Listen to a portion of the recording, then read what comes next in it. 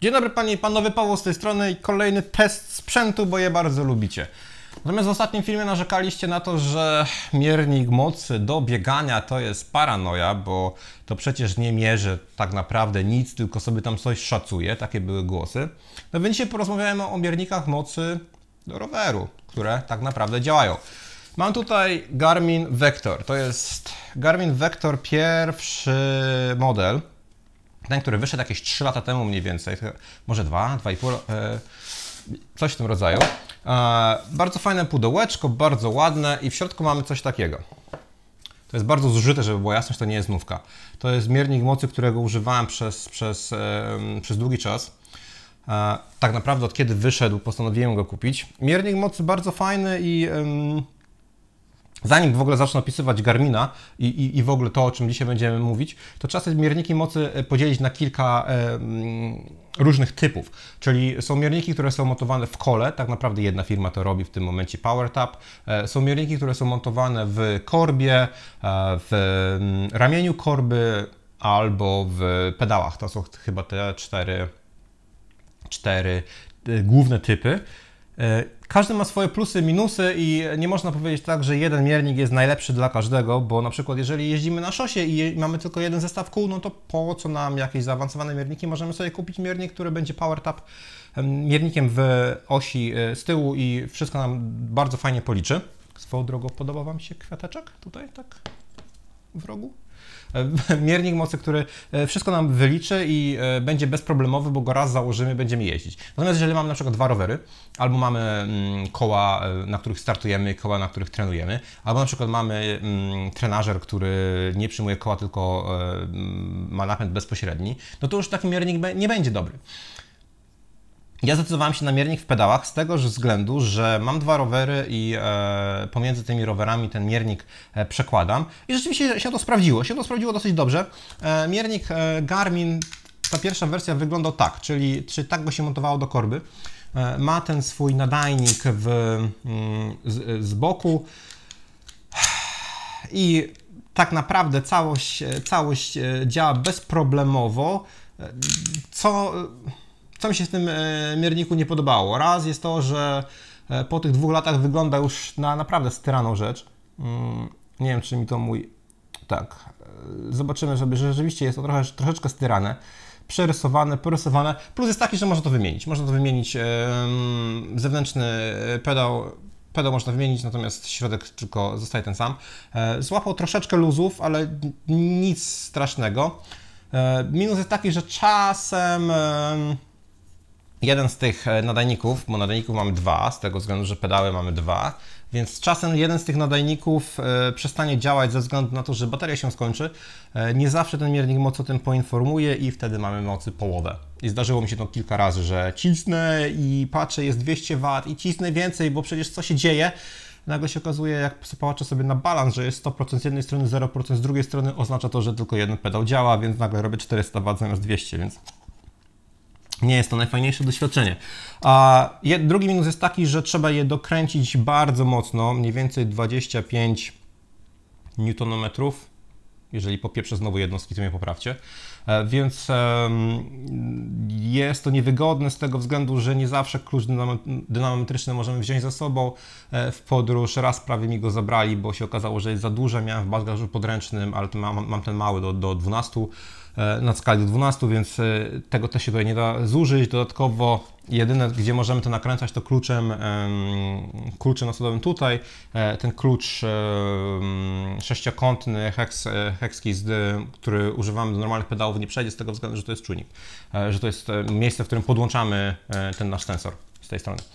No ale poza tym te pedały są, są całkiem fajne. Mm, komunikują się ze wszystkim przez ANT Plus i, i to w zasadzie tyle.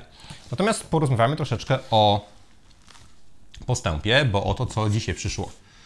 Czyli pedały Garmin Vector w wersji trzeciej. Wersja druga była praktycznie taka sama, tylko miała e, zamiast to mieć metalowe, miała plastikowe, w zasadzie tylko tym się różniła.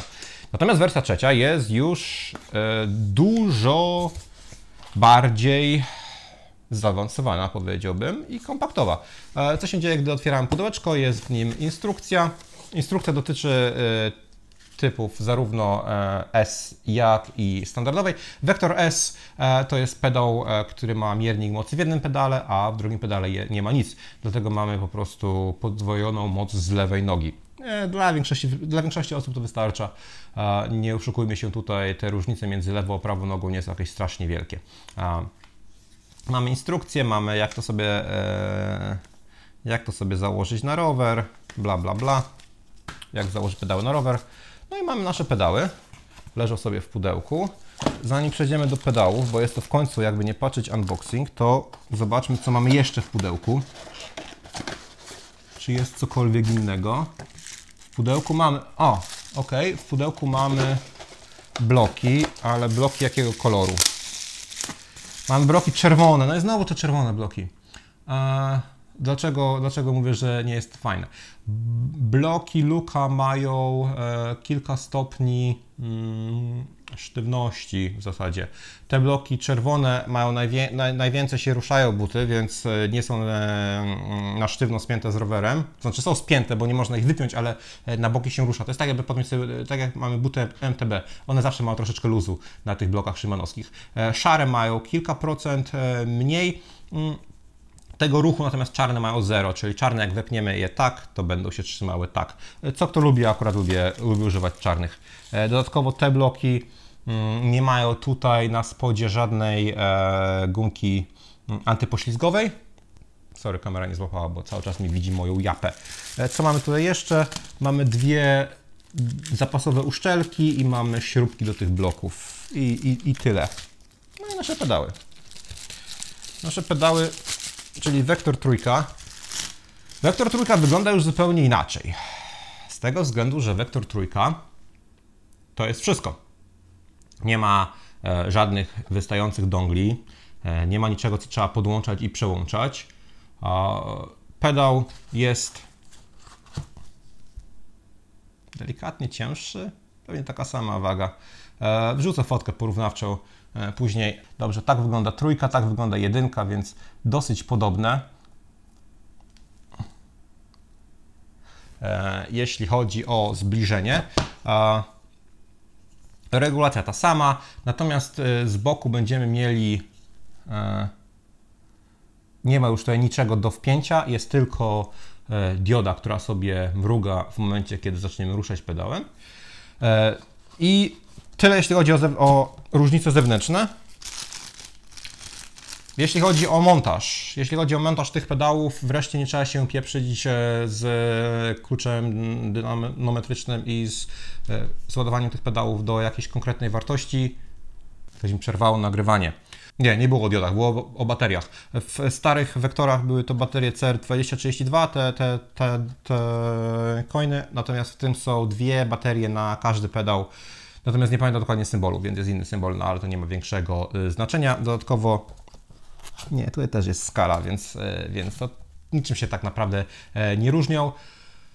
I to w zasadzie tyle. Będą po prostu wygodniejsze do montażu i a, no i przede wszystkim transmitują swoje dane przez Bluetooth i przez Unplus, czyli jeżeli używam na przykład um, telefonu albo tabletu, albo komputera do tego, żeby używać albo Zwifta, albo Trainer Road, to w tym momencie będziemy mogli sobie um, sparować te pedały także bez użycia jakichś dongli Ant Plus. E, co to daje? Daje to to, że e, niezależnie od tego, czy będziemy na trenażerze, czy będziemy na, nawet jeżeli mamy trenażer smart, czy będziemy na trenażerze, czy będziemy na drodze, będziemy mieli pomiar z tych samych pedałów, co powinno sprawić, że pomiar będzie dokładniejszy. Czyli tak, na, tak naprawdę e, to są te różnice. Po co je w ogóle kupiłem? Kupiłem je właśnie z dwóch powodów. Po pierwsze dlatego, że podróżuję i wygodniejsze będzie podróżowanie z tymi pedałami plus to, ten Bluetooth jako dodatek, a też te pedały odziedziczy, odziedziczy moja dziewczyna, bo zaczyna jeździć na rowerze coraz więcej, więc też się przydadzą. Chyba, że ktoś będzie chciał kupić za dobre pieniądze. To wtedy nie odziedziczy, no bo takie życie. Tak więc to jest taki, taki krótki unboxing. Jeżeli chodzi o testy, to, to nie będę testował jednych, jednych względem drugim, drugich z tego względu, że mi się po prostu nie chce. Zamontuję je, podam wrażenia na temat tych, tych pedałów po kilku tygodniach jazdy, czy to jest e, wygodne, czy to jest niewygodne, czy coś się dzieje, czy nie, czy za każdym razem się e, te pedały pojawiają w systemie, czy nie, więc, więc na ten temat sobie porozmawiamy za kilka tygodni. Natomiast teraz chciałem Wam pokazać po prostu unboxing. Mm, i, no i postęp przede wszystkim, postęp jaki, jaki się dokonał przez te e, parę lat, z tego względu, że wydaje mi się, że to urządzonko to urządzonko, no to jednak troszeczkę, troszeczkę jest inaczej, bo e, ten, ten latający dongiel naprawdę wiele osobom przeszkadzał. Natomiast nie jest to jakiś strasznie, nie jest to coś strasznie złego. Po prostu jest czasami wygodne, bałem się, że to się połamie, zepsuje i tak dalej, i tak dalej, natomiast nic, nic się z tym nie stało. E, weterany są te pedały, weterany są te pedały po kilku latach, ale też e, nie wyglądają jakoś strasznie, więc nie ma co, nie ma co narzekać. Natomiast e, też za kilkaset dolarów można je wszystko wymienić tak, żeby wyglądało ładnie, bo ten wnętrze, wnętrze nadal działa i można je zastosować. E, to wszystko. Pedały Garmin Vector 3 i przy okazji o Vektorze 1. E, a co dalej, to zobaczymy jak zamontuję. Hej!